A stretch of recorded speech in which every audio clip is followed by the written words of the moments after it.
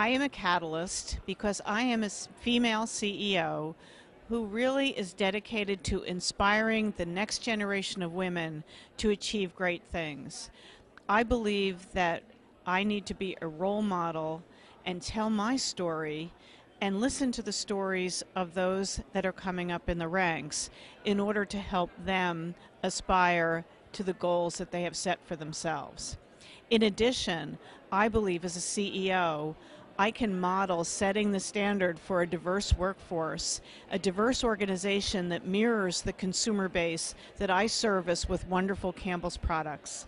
So I'm very proud to be a catalyst for change and make change happen.